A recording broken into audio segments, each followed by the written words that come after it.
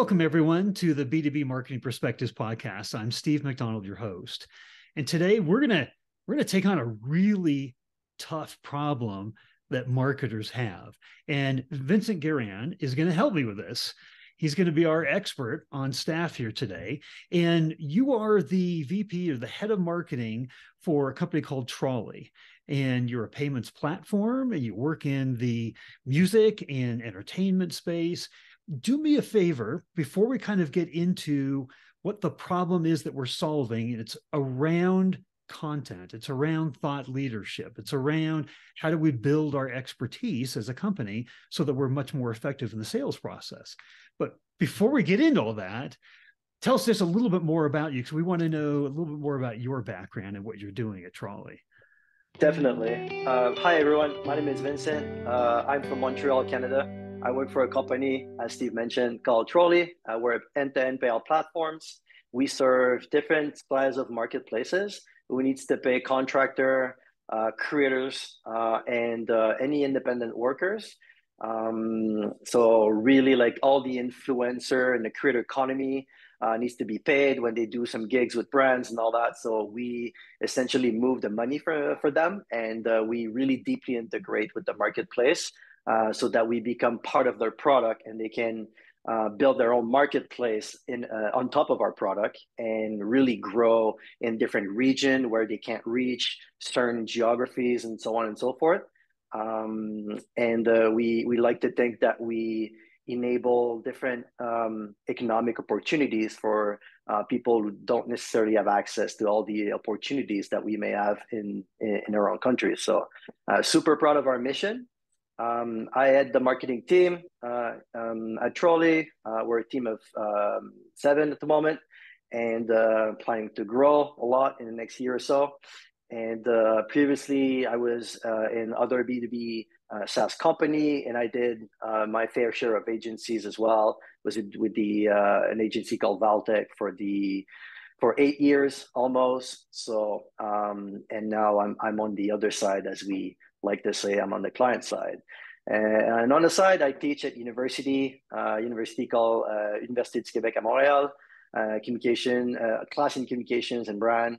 Um, really loving it. Uh, meeting all the younger generation, keep you uh, keep you on your toes, uh, and uh, push you to always uh, learn and change your mindset with like new generation. When I started, there was no TikTok, and now everybody's on TikTok. So uh, we definitely need to adjust. Well, you've been doing this for roughly 20 years. So yep. I assume you have some pretty pretty foundational insights or beliefs right and one of the biggest things that we want to get into here is just the importance of content and b2b marketing if you could kind of frame that importance for us and your point of view on it yeah definitely um, content, I see content as really core of everything you do in marketing, especially in the B2B SaaS space, where it's usually very crowded. You need to stand out. Um, and obviously, the inbound um, channels is always important for B2B SaaS companies.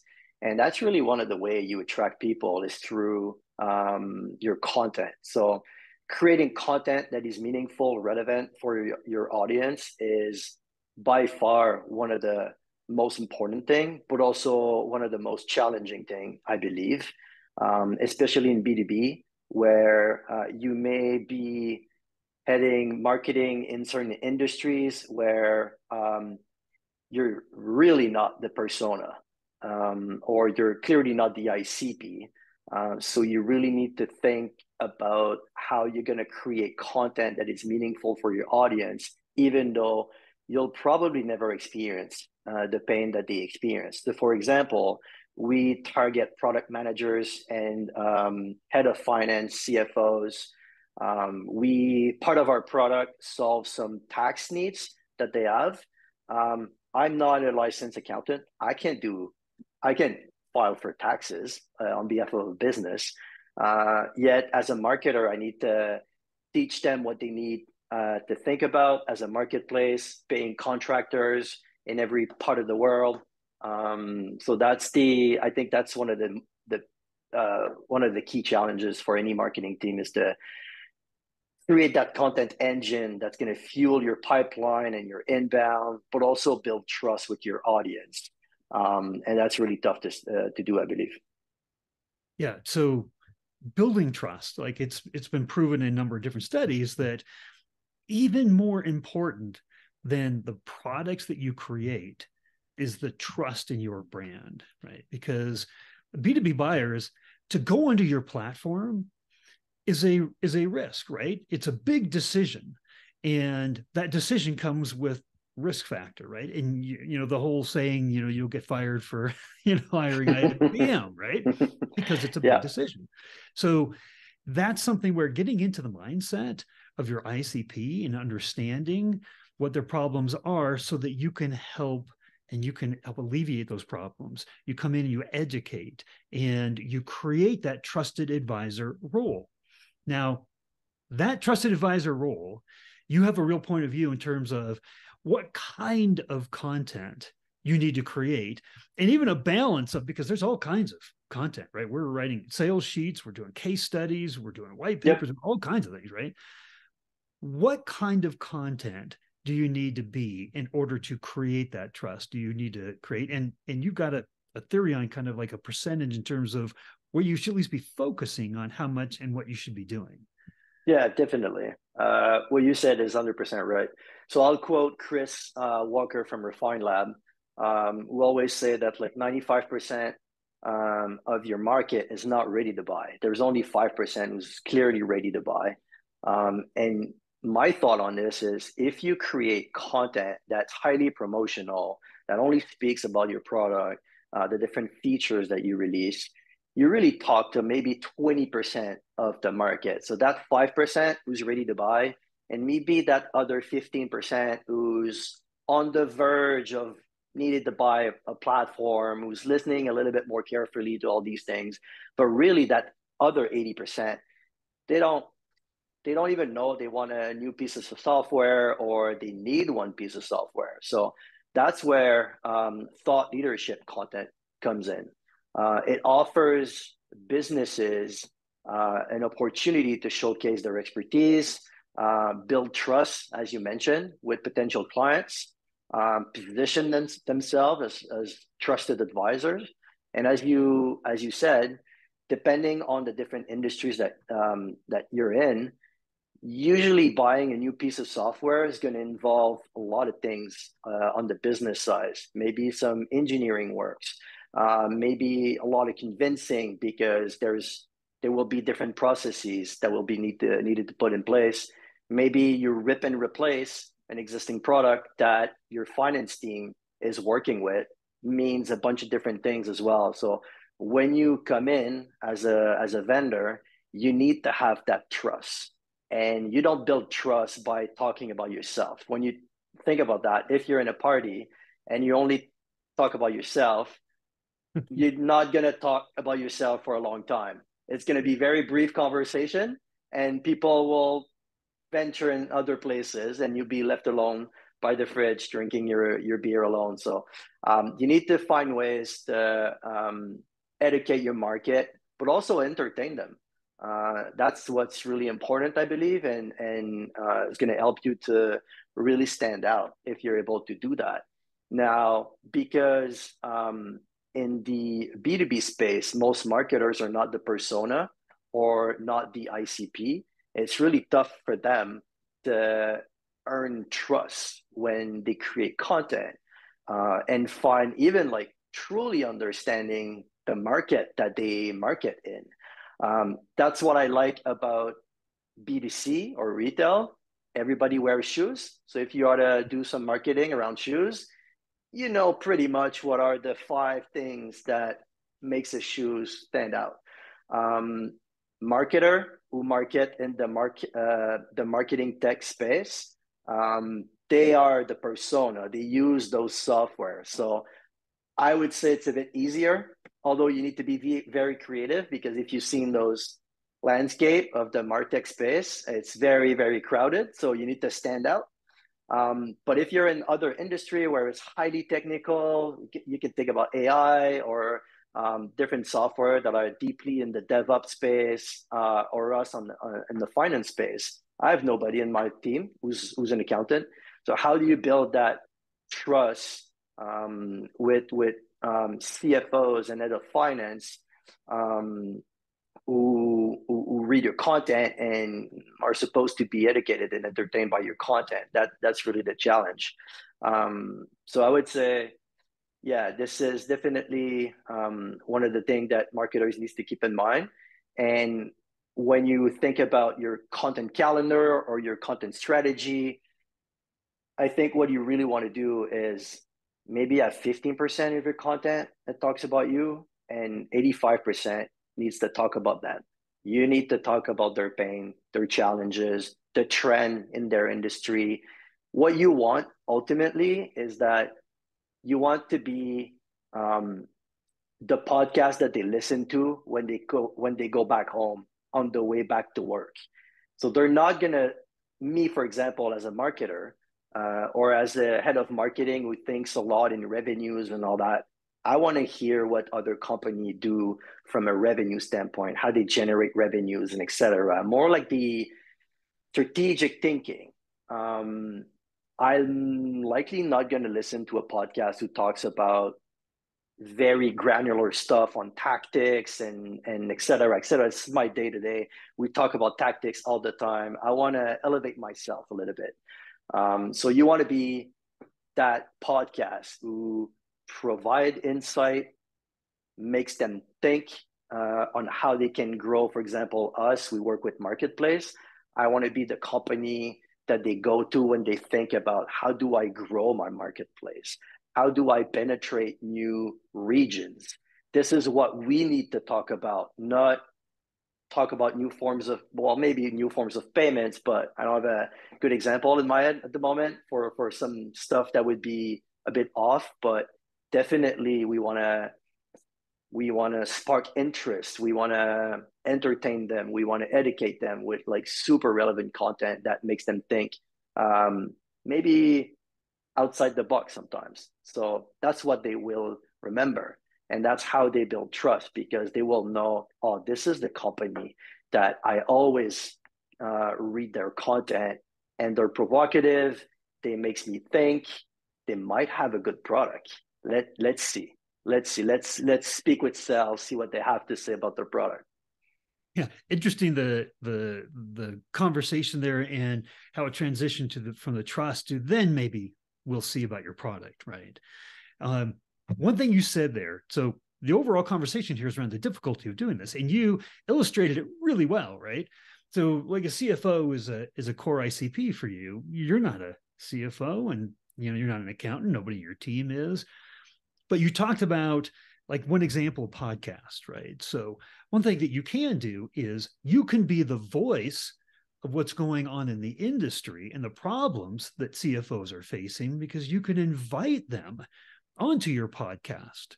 Right? You can gain credibility by bringing in the point of view and the insights and how other CFOs are tackling the same problems that you're addressing and even more. So it's when you had that analogy, I had to laugh about you go to the party. If you just talk about you, you know, you're going to yeah. end up in the corner, like sipping a beer by yourself, right? We've all Definitely. talked to that person before. And that's what happens inside of companies is because we're not the subject matter experts, or we have very few subject matter experts, we default to talking more about ourselves just like you do at a party, right? You talk out, we we can I can talk about my babies, my kids all day long, right? At the office, I can talk about what I do and my my babies, my products all day long. But that's not what they want to hear, right? So that analogy extends to the degree of difficulty it is when you're not the persona you don't have all the subject matter expertise, yet you have to be this voice of what's going on in the industry. You have to educate them, you have to advise them, you have to help in more ways than even your product is. So that's bringing in outside subject matter experts. Webinars yep. do that, podcasts do that, right? You know, guest blog posts, there's all kinds of ways to do that. Yep. But before I forget, because I was mentally writing down about eight things I wanted to talk to you about from what you were saying, you talked about being creative. And I think that notion is that even though you're a B2B buyer, right, you bought B2B Martech stack stuff and everything, right? Doesn't mean that you're like some guy that just wants to see all the text and the specs, right? You're a consumer of what's being sold there. So the idea of catching your attention and, you know, in a creative way is really important. Do you have any examples kind of in this B2B world of how you've been creative and how you've tried to get the attention of the buyers? Definitely. Um, I think one of the ways that we're currently exploring at the moment um, is obviously being in the finance. We're in highly re- regulated environment, so we can't do um, what we want all the time. But fortunately, our CEO is very permissive in terms of like what we can do, and we can try things, which is amazing. I think what you need to come back to is deeply understanding the channel that you want to use to distribute your content. And um, by understanding the channels, you understand the codes that are being used in that channel. So, for example, if for you, Reddit is a prime platform to distribute your, your content and your marketing, you can't do whatever you want in Reddit. Um, you can't just go in there as a company and start spreading links to your blogs and all. You, a, you're going to be kicked out. Uh, B, um, well, probably they will troll you a lot before kicking you out, and that's no good for your brand. So you really need to deeply understand this. And um, so for us, for example, we launched an ABM campaign recently. Well, actually, like uh, three, four months ago.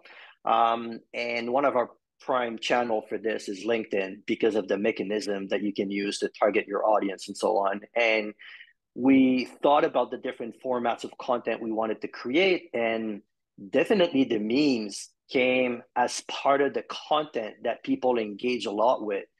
Don't get me wrong, like we're not only doing memes, but we certainly added some meme memes into our stack of different ads and messages that we use and to be honest, those are the pieces of content that creates the most engagement and mm-hmm. drives the most traffic uh, to our, our, our landing page as part of our campaign and all that. But you do want to have like an LT balance because you don't want to be perceived as that just like funny brand and whatnot. You be especially in finance, you need to be serious and then all right. that. So we do try to have a good balance.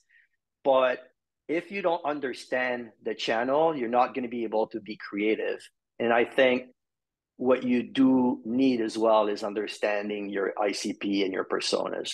You really need to, to think about what makes them thick, what's um, how they're going to react, like what's the language that they use um, in their industry, what are the jokes that are um, used in this industry. We have jokes as marketers, sales team have jokes, etc. Like every right. niche has their own joke and codes and all that. So you need to use that in order to make them react. And that's how I believe they will see you as being creative. Creativity doesn't mean um, you know, those amazing B2C campaigns that we see uh, from big companies like Apple's and Nike and all that. We're not, we don't we don't have necessarily the um, the means to do that, uh, the, the the the money to be able to create those massive, highly recalled ads and so on. Um, so how do you do that in the B two B space? Well, understand how your audience speaks and talk. Understand how the content is being shared and created on different channels. Put these two together, and you should be able to create some meaningful pieces of content whether it's ad whether it's a blog post a podcast even ebooks or state of kind of like reports um, and um, that should create some interest yeah it, it's just we're we're real people too as a b2b buyer and you know catching our attention with something creative something funny you know is a yep. great way to do that there's not enough of that on linkedin by the way. I That's think really there's a there's a good balance between being like somewhat serious and educate your market and being funny or at least interesting. Um, because being funny is not always easy, but at least you can be interesting. And then if you mix these two together, you should be able to to catch their attention. Because at the end of the day, um, we're in B two B, but you and I are in B two B, but we're humans. We react to the same um, same things. Then if you are in B two C, what's gonna create interest to buy this new pair of Nike shoes? Um, that deep like emotional feeling that you feel when you see this pair of shoes that truly fit what you your needs it's the same thing on the b2b side. Like you have something to solve you're experiencing pain and you want to solve that. You want to be a better marketer you want to be uh, a better finance person so on and so forth. So if you're able to tap into that then it's likely you're going to be able to grow your business. So i want to ask you a question and i'm going to pin you down on an answer all right. Go so ahead. if if you had to rate the overall importance of content mm. in the success and growth of the business, scale one to 10, one, not important at all, right? 10, it's vital to the growth and success of the company. Where would you put it on that 10, one to 10 rating? Uh, can can you have multiple tens in your business, or you need to have only one ten? hey, you could you have multiple tens, yeah. I mean, the product is definitely like the most important thing for sure. Like, if you don't have a product, like I don't believe in like um, fake it until you make it, or like right. overselling right. stuff that you don't right. have. Like, it's gonna bite you in the end. Um, but if if we talk in terms of having different bets that you can put uh, in your in your marketing engine and let's say revenue engine, I think content would be uh, probably a 10 or a 9 just because nothing is perfect but if if you create good content it's going to be used by everybody. It's going to be used by your customer success team it's going to be used by your support team it's going to be used by your sales team. Um, and of course using your campaigns. Um, so that's why I think the thought leadership idea is for me like a vehicle to kind of like create content but also distribute your content. It allows you to develop your point of view on something because that's what subject matter experts do. They have a very definitive point of view on the market. They know um, the old way and then they know the new way, which is a classic way to frame thought leadership content. And um, as a company, you build that content, um, you create toolkits, as we call it internally, and you involve everybody inside the company from the C suite to the individual contributors to be able to pick and choose from those toolkits and spread the message and use their own channel use their own community. If they are a member of like a certain community then they go they can go in there and then um, always think about the i want to add to the conversation not jump into a conversation and say hey you should check us out. We're the best and all that. You use the content that uh, ideally was created by the, the marketing team who's responsible for content.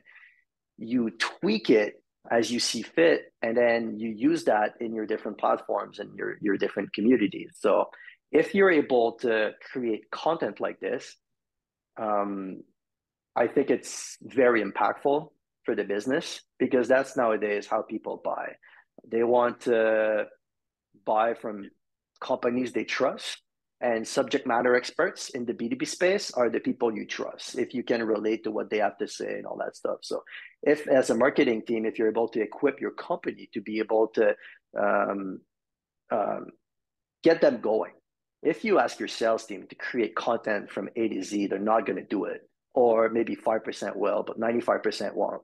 If you're able to equip them with different talking tracks, different messaging point, different visuals, now they're going to be able to pick and choose and just create the content themselves, which dramatically increase your reach uh, in your market versus the company who post on LinkedIn.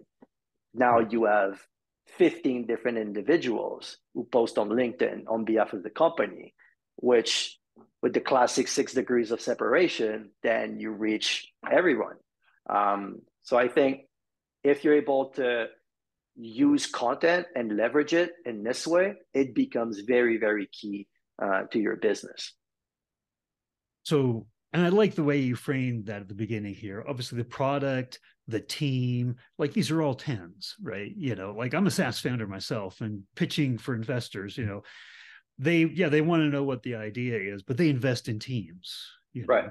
So there's a lot of things that are a 10, but if content is a 10, then how would you rate the degree of difficulty of creating that thought leadership content?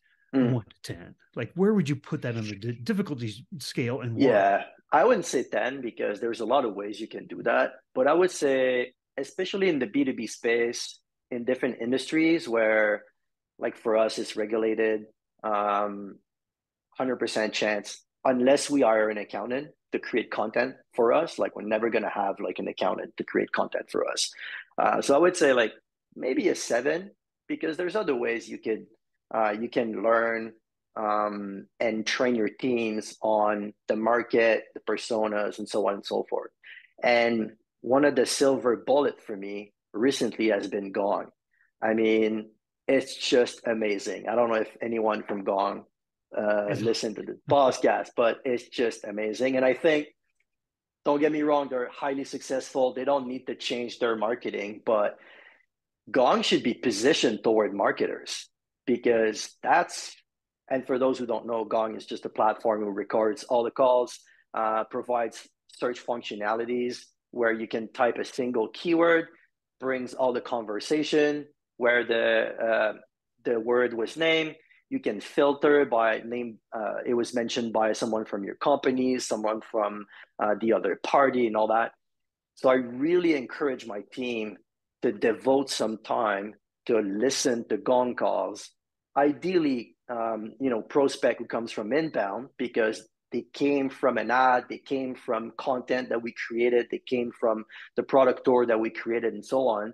And listen to the the conversation, hear what they have to say um, and and build your knowledge about their pains, their challenges, what they're trying to solve, what resonate, and all that. If you do that, then you should be able to at least have like all the talking track that you need to address from a content point of view. Um, and after that, it's just finding the ways to create that output and that velocity that you want. There's plenty agency who can help you to create that content.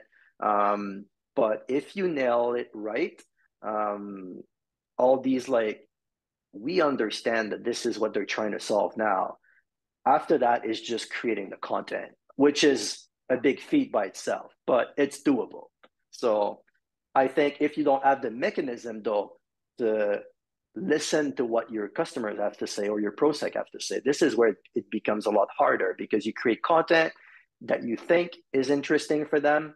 It doesn't resonate. It doesn't pick up. You don't know what to do.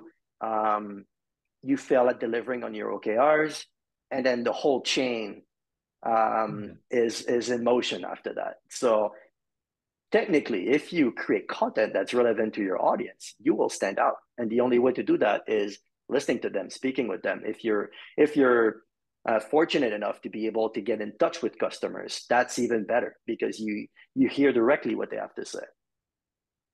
Well, we've talked about a lot, Vincent, here. And if there was one short takeaway that you wanted to leave us with, what yep. would that be? I would say um, one of the quote I like to remember remember um, or tell the team is focus on them, not you. Um, replace the we by your.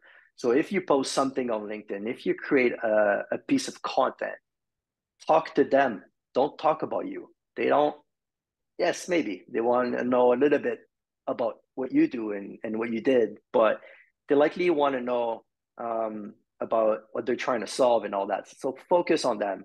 That's that's super key for me. And um, thought leadership, leverage your sales team, leverage your revenue team, create toolkits and ways for them to leverage your content and distribute that content. Train them on how to uh, leverage um, all the platforms.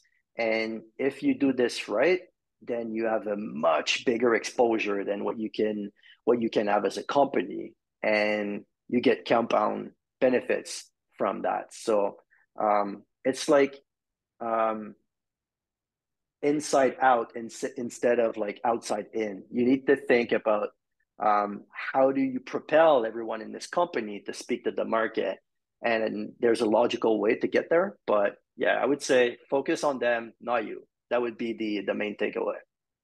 Well, fantastic. Uh, thank you so much for coming on and, and sharing all of this.